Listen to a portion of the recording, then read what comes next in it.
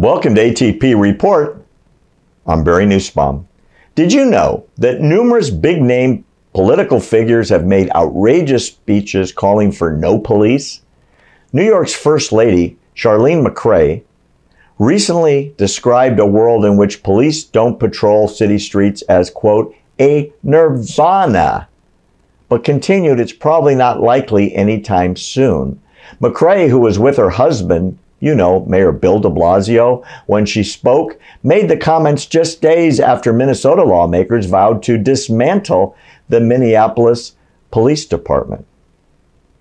Ms. McCray goes on, that would be like nirvana, a utopia that we are nowhere close to getting to, she said. She said this to Time magazine, by the way, and she referred to the possibility of a police free metropolis as a great thing. And if that didn't soak in, I'm going to say it again. No police would be a nirvana, a utopia. This is not the statement from some unknown crazy person, but the first lady of the largest city in America.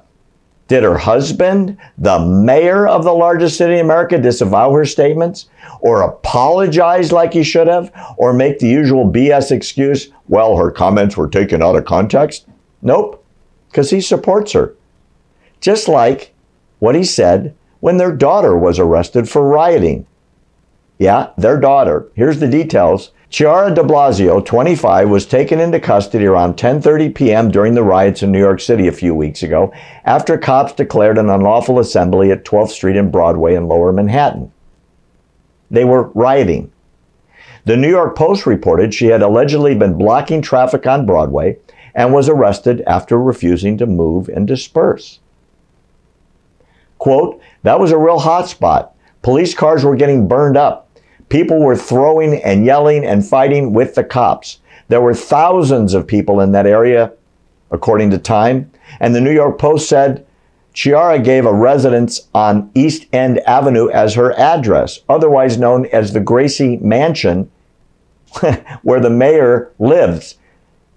It's a mansion on the Upper East Side, and that's her home. She didn't tell the cops she was the mayor's daughter, but the press found out, and the mayor said he was proud of her. And it's not just New York, by the way. LA City Council President Nury Martinez has used members from the LAPD, often two at a time, to guard her home over the course of the last two months. This while she was introducing a motion to cut $150 million in LAPD funding. This official also had round the clock private security provided by the department at her home. It might have cost taxpayers $100,000. Lovely, isn't it? Do as I say, not as I do. What a hypocrite. And here are the words of a crazy lady in Texas who wants to be in Congress.